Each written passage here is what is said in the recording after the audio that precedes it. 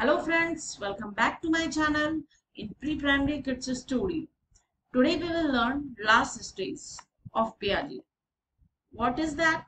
That is formal stage जो कि 11 years से adulthood तक का रहता है. Okay, without further delay, let's to start the next video.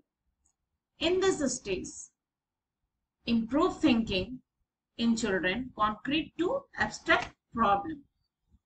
इस स्टेज में बच्चे काफ़ी इंप्रूव कर जाते हैं, क्योंकि इनका थिंकिंग लेवल बढ़ जाता है। I have told you in previous video in concrete stage children use to apply their mind by looking at concrete things but in formal stage children use to apply mind to abstract problem and second deductive reasoning comes deductive reasoning comes में, इस stage में बच्चे का deductive reasoning बढ़ने लगता है। मतलब बच्चे फॉर्मूला तो बनाते ही हैं, लेकिन एग्जाम्पल्स में भी काफ़ी एक्टिव हो जाते हैं इस स्टेज पर।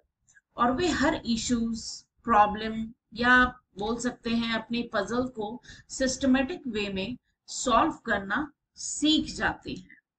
ओके अब हम आगे बढ़ते हैं। Third है understanding of inductive as well as deductive logic. इस स्टेज पर बच्चे को इंडक्टिव एंड डिडक्टिव दोनों समझ में आ जाते हैं।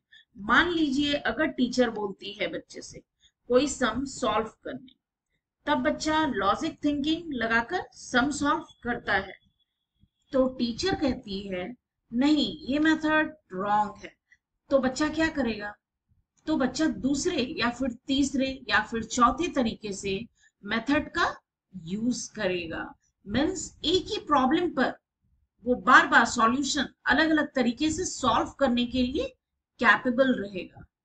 किस स्टेज पर? फॉर्मल स्टेज पर। Right okay thank you